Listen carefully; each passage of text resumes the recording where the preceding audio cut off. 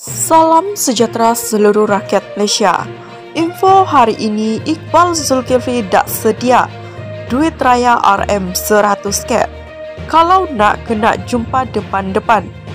Baru-baru ini perkongsian usahawan kontroversi Iqbal Zulkifli menjadi perhatian ramai apabila mengatakan dia menyediakan RM 100k duit raya pada tahun ini. Menerusi satu perkongsian di Instastory, Iqbal mendapat message pertanyaan dari seorang pelajar yang ingin meminta duit raya kepadanya.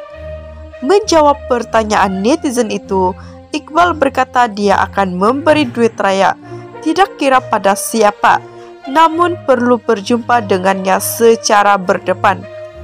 Tahun ini saya dah sediakan RM 100k untuk duit raya. Saya tidak kira usia. Kalau rasa nak bagi, saya bagi je. Cuma kena jumpa depan-depan, bukan DM atau transfer katanya.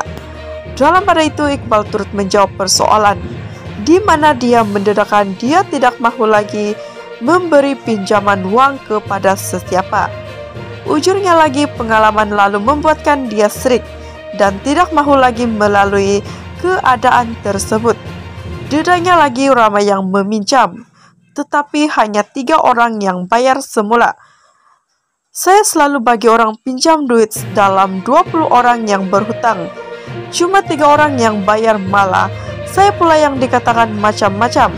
Bila minta hutang, minta maaf, saya sudah serik katanya. Dalam pada itu,